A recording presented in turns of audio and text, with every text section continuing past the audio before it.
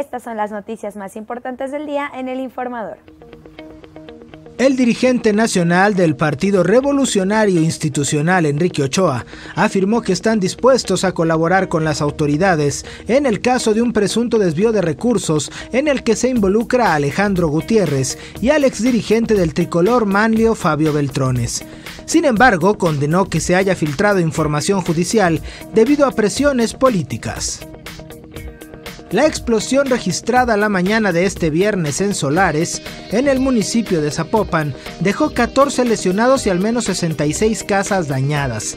El accidente sucedió en una casa de dos niveles sobre la calle Paseo de la Luna, debido a una fuga de gas. Autoridades zapopanas descartaron que hubiera daños riesgosos o en estructura, pues en su mayoría hubo afectaciones en cristales, puertas y herrería.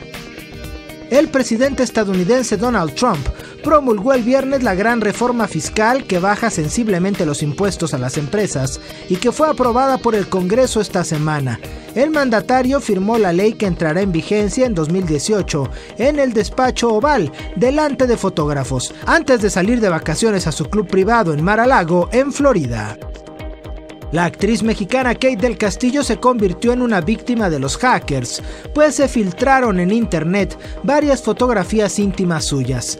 Hace dos días la conductora Montserrat Olivier fue víctima del hackeo de fotografías íntimas en las que aparece con su pareja Yaya Kosikova. Hasta la tarde de este viernes, Kate no se había pronunciado al respecto. Y recuerda, la información completa en informador.mx.